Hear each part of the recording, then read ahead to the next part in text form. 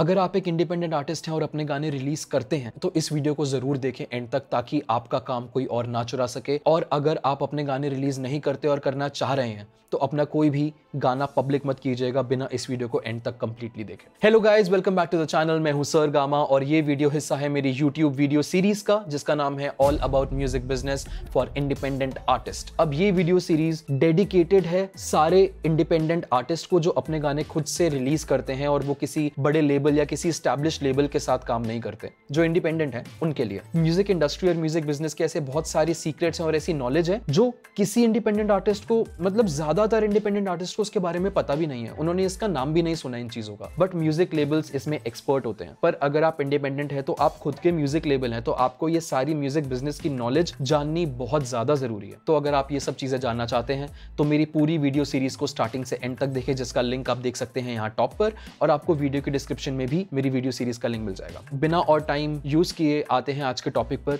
जिसका नाम है ट्रेडमार्क देखिए ट्रेडमार्क बहुत ज़्यादा ज़रूरी है, लोग नहीं कराते हैं इसको I don't know why but trademark का मतलब क्या होता है? सबसे पहले मैं आपको ये बताता हूँ। ट्रेडमार्क ये होता है कि आप अपने बिज़नेस के नाम को गवर्नमेंट में रजिस्टर कर दें और वो नाम यूनिकली आपका हो जाए और एक सर्टिफिकेट ऑफ़ प्रूफ आपको मिल जाए कि इस नाम से जो भी प्रोडक्ट्स मार्केट में अवेलेबल हैं आपके गाने, आपके प्रोडक्ट्स हैं, अगर आप म्यूजिकल आर्टिस्ट हैं तो अगर आप रिलीज़ करते हैं तो जो आपका गाना, जो ऑडियो फ़ाइल निकल के आती है, जिसको आप हर जगह रिलीज़ करते हैं आई पे स्पॉटिफाई पे यूट्यूब पे एटसेट्रा एटसेट्रा वो आपका प्रोडक्ट है। तो वो प्रोडक्ट जिस बिज़नेस नेम पे है, वो बिज़नेस नेम आपका तो बचपन में रखा नहीं होगा। अगर आप किसी और नाम से रिलीज़ करते हैं, मैं आपको एक एग्ज़ाम्पल देता हूँ, देखिए। मेरा लीगल नेम है हर्ष। मेरा लीगल नेम सर गामा नहीं है। मेरे मम्मी पापा ने मेरा नाम सर गामा नहीं रखा था।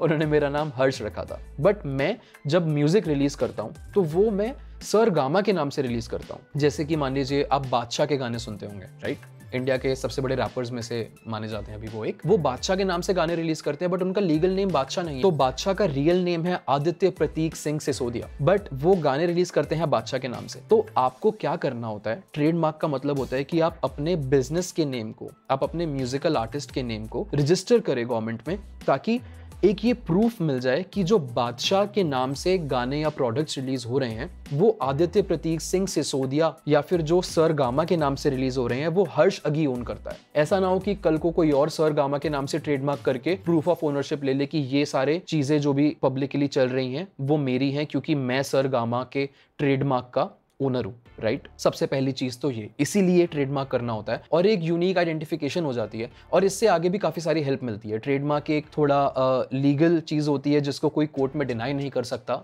गॉड फॉरबिड कल को कोई लीगल किसी चीज़ में आप फंस जाते हैं तो आपके पास एक प्रूफ रहता है कि मेरे पास इस चीज़ का ट्रेडमार्क है। मैं ओनर हूँ राइटफुल इस पर्टिकुलर ब्रांड या इस पर्टिकुलर कंपनी के नाम का राइट सबसे पहला फ़ायदा ये। दूसरी चीज़, जब आप करंट अकाउंट खोलते हैं करंट अकाउंट और सेविंग्स अकाउंट में काफ़ी डिफरेंस होता है और इसके बारे में मैं वीडियो बहुत जल्दी लाने वाला हूँ तो प्लीज़ सब्सक्राइब करें चैनल को अगर आप ये सब चीज़ें डिटेल में जानना चाहते हैं, क्योंकि ये चीज़ें किसी और चैनल पे मुझे देखने को नहीं मिलती है। ये बिज़नेस साइड जो है, ये बहुत इंपॉर्टेंट है एक इंडिपेंडेंट आर्टिस्ट के लिए, क्योंकि गाने बनाकर रिलीज़ तो आप कर दोगे बट अपने बिज़नेस को स्टैब्लिश करोगे कैसे? आप अपने बिज़नेस को सेटल कैसे करोगे म्यूज़िक इंडस्ट्री में? तो ये कोई नहीं बता रहा है तो ये सब जानने के लिए। और ये इनिशिएटिव मैंने लिया है, और मैं ये सब चीज़ें सिखाना स्टार्ट कर रहा हूँ यूट्यूब पे। और इसके बारे में जानने के लिए ज़्यादा से ज़्यादा सब्सक्राइब करें चैनल को। तो ये सेविंग्स करंट अकाउंट का भी आपको एक बेनिफिट मिल जाता है। और ट्रेडमार्क कब करने की ज़रूरत नहीं है, ये मैं आपको बताता हूँ।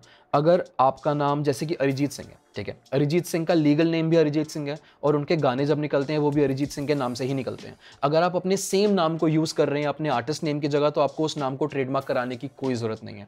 बट अगर आप कल को कोई कंपनी खोलते हैं, या अपना, मान लीजिए अम्ब्रेला कंपनी खोलते हैं, या फिर आप कोई सॉर्ट ऑफ़ एक लेबल खोलते हैं इंडिपेंडेंट तो आपको वो कंपनी का नेम ट्रेडमार्क कराना ज़रूरी है। अगर आप अपने गाने उसी नाम से रिलीज़ कर रहे हैं, जो आपका ओरिजिनल नाम है तो आपको उस नाम को ट्रेडमार्क कराने की कोई ज़रूरत नहीं है। तो फ़र्स्ट चीज़ कि ट्रेडमार्क करने से पहले क्या क्या चीज़ों का आपको ध्यान रखना चाहिए। देखिए, अगर आप किसी और नाम से अपना म्यूज़िक रिलीज़ करना चाहते हैं, जैसे मैं सर गामा के नाम से करता हूँ, मान लीजिए आप कोई डीजे हैं और अपना कोई इंटरेस्टिंग नाम रखना चाहते हैं, जो आपके लीगल नेम से डिफरेंट हो तो आपको सबसे पहले वो नाम डिसाइड करना क्योंकि अगर आपका नाम चेंज हो रहा है बार बार अगर आप फाइनल नहीं कर पा रहे हैं कि आप किस नाम के साथ जाएँ तो प्रॉब्लम क्या होती है कि अगर आप ट्रेडमार्क एक बार करा लेंगे तो वो चेंज नहीं होता है। तो आपको नए नाम के लिए नया ट्रेडमार्क एप्लीकेशन फ़ाइल करना पड़ेगा। और ट्रेडमार्क एप्लीकेशन फ़ाइल करने की एक फ़ीस होती है। उसके बारे में हम अभी बात करेंगे। बट सबसे पहले आपको एक आर्टिस्ट का नेम अपना फाइनल करना है और उसका एक लोगो फाइनल करना है। लोगो आप फ्यूचर में चेंज करेंगे तो वो अलग बात है बट स्टार्टिंग के लिए आपको एक लोगो जो थोड़ा सा कैची हो इंटरेस्टिंग लगे और सिंपल हो। जितना सिंपल लोगो होगा, उतना ज़्यादा अच्छा लगेगा लोगों को। तो एक लोगो, सिंपल बट अट्रैक्टिव और एक आर्टिस्ट नेम ये दो चीज़ें आपको फाइनल करनी है। उसके बाद ही आप ट्रेडमार्क के ऊपर जाएँ और आर्टिस्ट नेम फाइनल करने में मेरी जैसे गलती ना करें। देखिए, लोगों को मेरा आर्टिस्ट नेम बड़ा पसंद आता है सर कामा बट कई लोग इसको सारे गामा से कंफ्यूज कर देते हैं। बट वो मेरे लिए एक अच्छी बात भी है, क्योंकि सारे गामा एक म्यूज़िक से रिलेटेड फ्रेज है। सारे गामा और सर गामा ये मैंने सोच के नहीं रखा था बट ये बाई चांस हो गया। बट इसमें प्रॉब्लम कहाँ आती है? सारे गामा और सर गामा में मुझे कोई प्रॉब्लम नहीं है रिलेट करने। बट सारे गामा एक बहुत बड़ा म्यूज़िक लेबल है। तो मेरे को उससे कंफ्यूज कर दिया जाता है कभी कभी और ऑनलाइन भी कभी आप सर गामा लिखो तो वो कभी कभी पूछ लेता है कि did you mean Saregama music तो बस ये चीज़ें हैं। तो आप ये सब चीज़ें देखें कि आपका आर्टिस्ट नेम थोड़ा यूनिक होना चाहिए, थोड़ा डिफरेंट होना चाहिए। और अगर वो एक्सक्लूसिव हो तो बेटर है। एक्सक्लूसिव से मेरा मतलब है कि वो आर्टिस्ट नेम पहले एग्जिस्ट ना करता हो तो वो ज़्यादा बेटर है। ट्रेडमार्क करने से एक और फ़ायदा, अगर मैंने अपने नाम को अपनी क्लास में ट्रेडमार्क करा लिया। क्लास क्या होता है, मैं अभी आपको बताता हूँ। अगर मैंने ट्रेडमार्क करा लिया तो सेम नाम से सेम बिज़नेस कोई और नहीं कर सकता एटलीस्ट इंडिया में, या जिस भी कंट्री में आप रहते हैं वहाँ पे। अगर मैंने सर गामा को ट्रेडमार्क करा लिया है तो फिर सर गामा नाम का और सेम लोगों के साथ ट्रेडमार्क एक और सेम क्लास में नहीं हो पाएगा। अब क्लासेस क्या होती हैं? जब आप ट्रेडमार्क कराते हैं तो आप हर इंडस्ट्री में आप उस नाम को ट्रेडमार्क नहीं करते हैं। क्लासेस हर इंडस्ट्री के हिसाब से सेपरेटली डिवाइडेड होती हैं, और हमारी जो म्यूजिकल इंडस्ट्री या जो आर्ट्स या एंटरटेनमेंट इंडस्ट्री है, उसका होता है क्लास 41 तो आपको अपना आर्टिस्ट नेम क्लास 41 के अंडर ट्रेडमार्क कराना होता है। तो मैंने अपना सरगामा का ट्रेडमार्क क्लास 41 के अंदर कराया हुआ है और उसके अंदर आपको डिस्क्रिप्शन देनी होती है प्रॉपर कि आप क्या काम करते हैं, आपका बिज़नेस किस चीज़ का है, आप क्या क्या सर्विसेज़ देते हैं एक्सेट्रा एक्सेट्रा एक्सेट्रा उस क्लास 41 के अंदर सर गामा के नाम और मेरे जैसे लोगों का ट्रेडमार्क दोबारा कोई और नहीं कर सकता है। वो अब मेरे नाम पे एक्सक्लूसिव हो गया है। ये फ़ायदा होता है ट्रेडमार्क कराने का, कोई आपका बिज़नेस आपसे नहीं छीन सकता है और ये आपके पास लीगल प्रूफ है कि ये बिज़नेस आपके नाम पे है, जो आपको फ्यूचर में बहुत ज़्यादा हेल्प करता है जब आपका बिज़नेस एक्सपैंड होता है या आप थोड़े बड़े आर्टिस्ट बनते हैं। तो इट इज़ वेरी हेल्पफुल अब आते हैं इसकी फ़ीस पर। ट्रेडमार्क की जो फ़ीस होती है ट्रेडमार्क की फ़ीस गवर्नमेंट फ़ीस अभी के हिसाब से आई गेस है फोर्टी फाइव हंड्रेड रुपीज़ और ट्रेडमार्क आप खुद नहीं कर सकते। मे भी कर सकते हो बट उसके लिए कुछ क्वालिफिकेशन चाहिए होती हैं। बट मैं रिकमेंड करूँगा कि आप अपना ट्रेडमार्क किसी ट्रेडमार्क लॉयर से या फिर कोई प्रैक्टिसिंग सीए हो जो ट्रेडमार्क में एक्सपर्ट हो और जो ट्रेडमार्क्स करता हो, आप उनसे ही करवाएँ। उनकी फ़ीस जितनी भी होगी वो थोड़ी अप्रॉक्सीमेटली एक्स्ट्रा होगी। और गवर्नमेंट अप्रॉक्सीमेट समथिंग 4500 से 5000 के बीच में गवर्नमेंट की जो स्टैंप फ़ीस होती है, वो होती है। अगर मोटा मोटा देखा जाए तो कुछ आठ हज़ार के आसपास, आठ से दस हज़ार के बीच में आपका ट्रेडमार्क एप्लीकेशन फ़ाइल हो जाता है। अब इसमें प्रॉब्लम कहाँ आ सकती है? ट्रेडमार्क फ़ाइल होने के बाद आपको ऑब्जेक्शन आ सकता है, जो मेरे पिछले दो ट्रेडमार्क्स में आए मैं काफ़ी सारे ट्रेडमार्क्स करा चुका हूँ। अलग अलग बिज़नेस में मैंने बहुत सारे काम शुरू किए थे एक टाइम पर।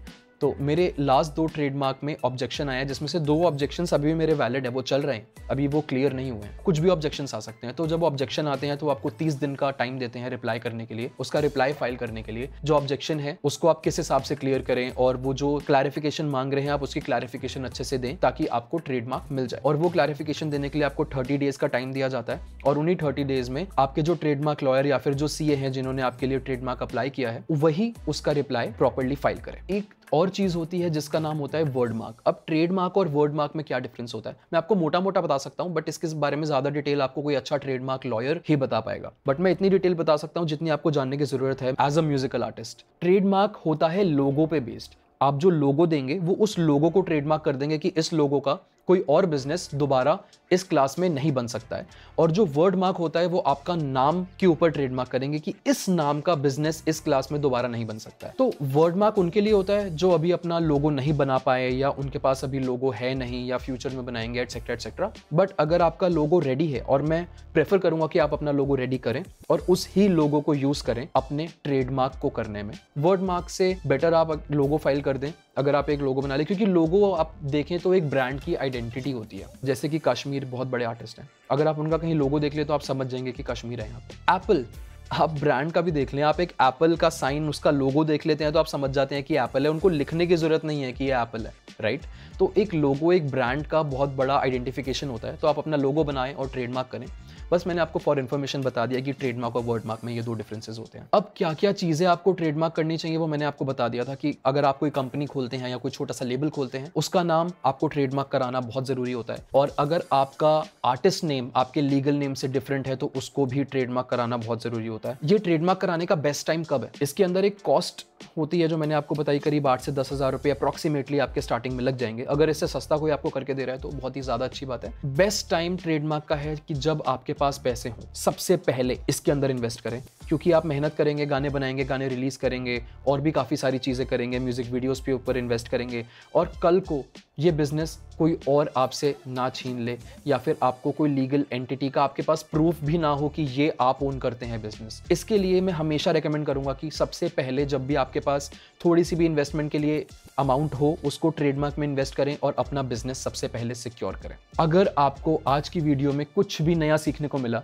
और आप ऐसी चीज़ें और सीखना चाहते हैं और आगे आने वाली वीडियोज़ में तो सबसे पहले सब्सक्राइब करें इस चैनल को और लाइक करें इस वीडियो को और प्लीज़ कमेंट करें। अगर आपको कुछ मुझसे डाउट हो या कुछ पूछना हो या अगर आपको ये वीडियो अच्छी लगी, या अगर आप कोई, आप नई ऐसी वीडियो और जानना चाहते हैं, कोई ऐसा टॉपिक जिसके बारे में और जानना चाहते हैं और चाहते हैं कि मैं उस पर वीडियो बनाऊँ कमेंट करें उस पर और सब्सक्राइब करें चैनल को और फॉलो करें मुझे इंस्टाग्राम पे, उसका यूज़र नेम आपको यहीं कहीं मिल जाएगा स्क्रीन पे और आपको लिंक मिल जाएगा डिस्क्रिप्शन में। अगर इतनी इतनी इतनी इतनी अगर थोड़ी सी भी आपकी हेल्प हुई है इस वीडियो से तो please please please subscribe and like the video इससे बहुत मोटिवेशन मिलती है मुझे ताकि मैं नई नई वीडियोज़ और बना सकूँ और अपना टाइम और मनी इन्वेस्ट करके आपके लिए और नई ऐसी इन्फॉर्मेशन ला सकूँ जो अभी यूट्यूब पर कोई नहीं दे रहा है फ्री में। बट मैंने इनिशिएटिव लिया है और मैंने ये स्टार्ट किया है तो प्लीज़ सपोर्ट और अगर आप मुझे डायरेक्टली सपोर्ट करना चाहते हैं तो आपको link of buy me a coffee मेरी डिस्क्रिप्शन में मिल जाएगा। आप उस पर जाकर भी मुझे डायरेक्टली सपोर्ट कर सकते हैं। मिलते हैं एक नई वीडियो में, नई टॉपिक के साथ, नई नॉलेज के साथ, नई इन्फॉर्मेशन के साथ। Till then stay safe take care bye and see you soon